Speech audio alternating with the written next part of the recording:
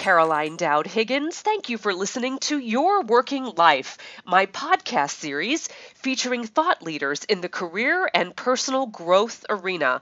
I know that you spend a significant portion of your life at work, so I'm on a mission to provide you with tools, inspiration, and resources so you can enjoy your career and love your life. And I'm so delighted to have my very special guest today, Lori Ann LaRocco. Lori, thank you, Lori Ann, thank you for joining me. Thanks for having me. Well, I want to tell my audience a little bit about you. You have an amazing background as a senior talent producer on CNBC. Lori Ann LaRocco has the ear of some of the world's biggest business minds. She's been working at the network since 2000, and Lori Ann was first hired as one of Maria Batrimo. Say this name for me, Maria Batriromo's. It's it's Bartiromo. Bartiromo. My goodness, I speak Italian. I should know this. Maria Bartiromo's producers on her first primetime show, Market Week.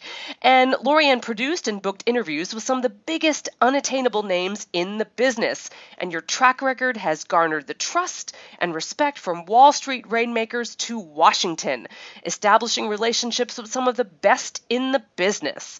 And you've got an amazing book out called Opportunity Knocking, which we are going to talk about today, Lori Ann. I'm so delighted that you're on the show, and I'm eager to pick your brain. First, I'd love to hear how you got started in broadcasting. Well, I started out uh, in college. Uh, went to uh, SUNY Plattsburgh up in uh, upstate New York. Yes. And uh, I had a double major in mass media communications and broadcast journalism. Uh, I always knew that I wanted to be a journalist. Uh, back when I was in seventh grade, I was actually editor in chief of my junior high newspaper. Bravo. and uh, and then you know that that just parlayed into being you know editor in chief of the high school paper and so on and so on. How great! So you knew as a as a kid that you wanted to go into this profession. So Exactly. I mean, how, how did you make the the segue though from from university into the biz? Because you you're hitting it big time, and it's it's not that easy. You know, it just takes a lot of hard work. Uh, when I was the college that I was going to attend, I wanted to make sure that I had hands-on experience because that's really what separates you from the competition. And the longer that you do it, the better you become. So I went to SUNY Plattsburgh because I was able to go on air and touch the equipment, if you will, as a first semester freshman, which is ulti- which is really unheard of in many courses. So um, I interned a lot. I got to know a lot of people, and I just kind of focused on my craft. And I was lucky; I was able to get a job uh, right out of college. Good for you. Well, you know, I think luck has something to do with it, but clearly you have uh, an incredible work ethic and you were willing to put yourself in the line of fire. And I think that's altogether important. But what is your advice for, for those listeners who are interested in careers in broadcasting? You have to really love it because you know it takes years in order to make a living wage. Yeah. Uh, when I was anchor and reporter out in Hastings, Nebraska, I made thirteen thousand dollars a year. Yeah. And uh, my husband, who's in radio, he made uh, eleven thousand his first job. Now, you know, it's something that you have to be committed to. It's a twenty-four seven job, and even to this day, I'll get phone calls during dinner. And my kids are, you know, like, "Oh goodness, why is the White House calling?" You know, it's six o'clock at night. Um, but you know, you just really have to want it, and you just have to really be likable. Because if you are a team player and you're willing to work hard, you will go far. And it's a very small industry. I mean, the the my old boss here at CNBC is now one of the big head honchos over at Fox News. So, like I said, your reputation is just as important as your ability. Wow, that's so true. Now, you've really interviewed some of the biggest names in the business world. Any particular lessons that you've learned from these interview subjects? I would say one of the biggest lessons that I have learned is the need for manners. I cannot tell you how many times I've had CEOs, uh, you know, be impressed that I walk them to the door Yeah. after an interview. To me, it's just common sense, but they really, uh, they really take notice in terms of people being polite, uh, handwriting thank yous, um, you know that personal touch and they take note of if someone doesn't walk them to to the door because it's all about the human aspect of it i mean there is a line of confidence and arrogance that you know all these individuals do embody uh, because you know you need to have a little bit of a little bit of everything in order to be successful. But in the end they truly value manners and being respectful. And i think that you know that's something that we should all have because you and i both know in this world of social media where you text you know ty instead of you know calling somebody up or writing in that says thank you little things like that really go a long way i so agree with you Lori Ann and you know the the handwriting or the handwritten note i should say is a dying art and i hope that you and i can can double-handedly keep it alive. You know i think it's so important. I really really do and it does show that we go the extra mile. And i know when i get a handwritten note i i treasure it because they're so rare. I do. Uh, Mulally, um, you know, who's in my, yes. my latest book, he wrote me the nicest handwritten letter and i actually keep them. I keep all of them from the ceos that that write me because like you said it it is a lost art but i think it's the fact that someone sits down and handwrites something you know shows you at least within those few minutes at least they were thinking about you absolutely. versus, you know, versus having the secretary type something up. Absolutely. Okay so let's dive into your latest book which is called opportunity knocking. Tell me about that. And, and I want you to back up a little bit and say where the inspiration for the opportunity pyramid came from. Mm-hmm. Oh, definitely. Um, I, I'm fortunate where I know some of the world's top business leaders. And uh, before I was at CNBC, and I've been here for 14 years, 10 years, be, 10 years before that, I worked in local news. So I've interviewed everybody from the local deli all the way to, you know, the billionaires like Wilbur Ross, Richard LeFrak. Yeah. And it, it dawned on me, I was actually sitting on the floor in an airport down in Miami because there was a huge layover. Um, everything was delayed. And I was going over all these questions that people were asking me at this conference that I was keynoting at. And it dawned on me that all the strategies that these leaders use doesn't matter if like i said you run the deli or you know you run a corporate company um, they all are identical and i'm very visual so i like to create things that i can see and i think a lot of times people if you see it and you hear it and you read it, it kind of all clicks together. Yeah. So I created what's called the opportunity pyramid, and there are seven steps that all hinge upon the other for you to achieve the apex. And that apex is what I call world domination. And that means being the best that you can be. I love it. I love it. World domination. Good stuff. So unpack a couple exactly. of them for me, Lori Ann, and sure. and then I want to segue into how uh, your juicy book, Opportunity Knocking, can help each and every one of our, our listeners. Sure. I mean, the first, a lot of it is just when you pull yourself back, you go, gosh, why didn't I think of that? Um, it doesn't matter if you're a small businessman, a manager, entrepreneur, or aspiring entrepreneur. Okay. Okay all these strategies you can use. It's just uh, tailored to where you want to be. Okay, in in the, in the work food chain. The first thing is you need to know who you are. What are your strengths? What are your weaknesses? If you don't know that, how can you assess an opportunity? How can you build on that?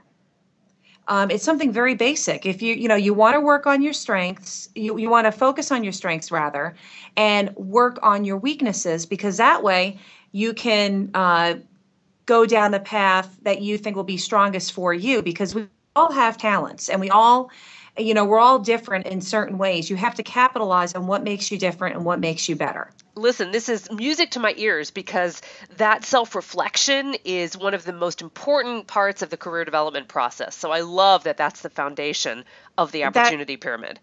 Exactly. So then after that, you go into um, you go into fortifying your education, right? Okay. You want to you want to fortify your knowledge based on your strengths and weaknesses.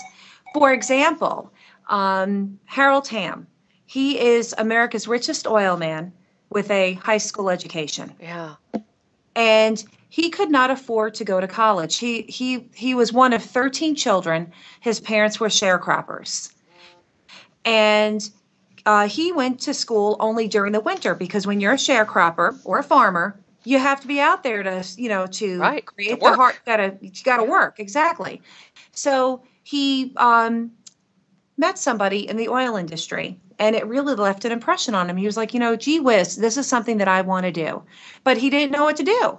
So what did he do? He spoke to people. He became, you know, he kind of interned, if you will. He picked the brain of anybody in the industry, and then he was able to start a small business by distributing oil. He started baby steps, and this is something that you could do, I can do, anybody can do this.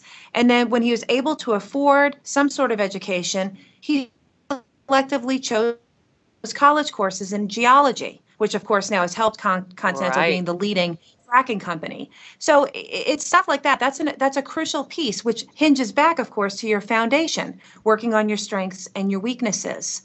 You know, then you then you lead up to where you're talking about um, passion, because passion gets you through the highs and lows in life. We all know life is hard, and sometimes you'll hit a bump in the road. So, you know, so I talked to Steve Case because he has reached a pinnacle of success and has fallen down in yes. very public manner. Yeah. So, you know, I thought he'd be a really good person to talk to because a lot of people know about, of course, you know, the demise of AOL after the Time Warner merger, but he left. A lot of people don't realize this, but he worked at a Fortune 500 company, face, uh, very safe company, you know, right out of college. And he knew he wanted to do more. So he had this opportunity to go to uh, Control Video, which created GameLine. It was this uh, a, an online system. And he got there, first meeting, he re- the company going under. How would you feel? You're sitting in that company and you're like, oh, gee whiz, I just left this this uh, safe company, and now I'm facing possible unemployment. So he and his colleagues created uh, uh, the next company, which became America Online. And he talks about how you really need to surround yourself with people that share the same passion, the same mantra, the same work ethic, because you need that. It's not, there's no I in team. Yes. So, you know, again, this is something that everyone can relate to. And it doesn't matter if you're a manager or you work for somebody or you want to or you want to go out on your own, you have to have a team. So, you know, that is another layer of the pyramid that that hinges upon everything else. But, uh, you want to yeah yeah we just or? we just had a little delay in our our sound but i think we're back we're in good shape you know what i found really fascinating too Lori Ann okay. about the pyramid was the ability to take a risk and to learn how to fail forward right we're all going to fail we're all going to stumble and that's okay that's part of the journey we shouldn't let that paralyze us we should use it as momentum take the next step right Exactly. Fear can really immobilize you, and none of these uh, leaders are afraid to fail because, as you said, you have to fail forward. You have to learn, and and you have to look at failure almost as a gift because right. sometimes, you know, you can fail, but you will learn from something. Everything is a learning process in order for you to attain your goal. So true. So true. I couldn't agree more. Okay, so let's let's talk about you. You've got 3 kids. I know you have this incredibly busy schedule. I imagine your kids are active as well. How do you do it? Right? I mean, everybody talks about work-life balance, which I don't I don't believe in that term. I think it's more work-life integration, but what's your secret secret sauce? How do you do it? I call it survival. Forget balance, survival. I like it it's all about survival.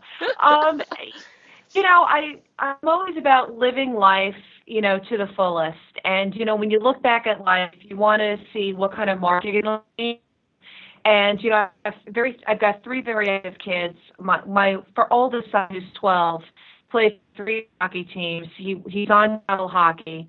Um, my other son plays baseball. My daughter is a competitive equestrian. So we're always out, you know, doing horse shows. And I just want to be a role model for my kids where enjoy what you do. And I and I love my job. And you know, I just figure it to me it's not work. I, I just like doing it. So I think it's like your mindset and you know, like I said, it is survival. You got you know, food's got to get on the table. you got to get your kids out to. It's all advertising, and and just kind of not getting too caught up in that moment because it, it is pretty daunting what we do on a daily basis as a, as a working mom. But it can be done. Good for you. And it sounds like you're enjoying the process, which is so important. I, I definitely am. Like, like I said, you know, you only live life once and Augusta, because why not? Absolutely, absolutely. So, what's one of the most important messages that you want to share with our listening audience from Opportunity Knocking? Why should they go out and read your book? I think people should pick this. A lot of times, we're too hard on ourselves, and you always hear the negative. I wish I could, I can't. Oh, I... you know, there we deserve to and tap into to tap into our potential. And we deserve to have those moments for ourselves. And i think when you pick up the book we're all good at something. Right. We just have to recognize it and you need to really have that reflection you have to have that inflection inside yourself and go you know what i am good at x y and z you know what i crochet on the side and people say I'm a good painter. Why don't you try to make something of it? It doesn't hurt to try. Don't live coulda, woulda, shoulda. Just go for it because you never know what can. Excellent. I like it. You've got to just go for it. Beautifully put. Lori Ann, how do we how do we buy your book and how do we follow you online? Well, I uh, you can buy the book uh, in bookstores as well as Amazon.com and BarnesandNoble.com. And uh, I do have a blog where I do write several times a week in terms of, you know, just some insights into tapping into your inner leader. And that's at loriannelarocco.wordpress.com. And then uh, you can follow me on Twitter, which is at Lori Ann LaRocco. Excellent. Lori Ann, what a joy to have you on. I wish you great success with the new book, Opportunity Knocking. You are an inspiration, and it's delightful to have you on the show. I wish you great success, and I hope that we get to cross paths again soon. Thank you so much for having me, and it was wonderful. Well, you take good care. You too. And I want to thank everyone for tuning into your working life, where my goal is to help you design your career destiny so it doesn't happen by default. True career and life satisfaction is really possible, and it's time to embrace what you love doing so you can do more of it. I'm Caroline Dowd Higgins. Take good care.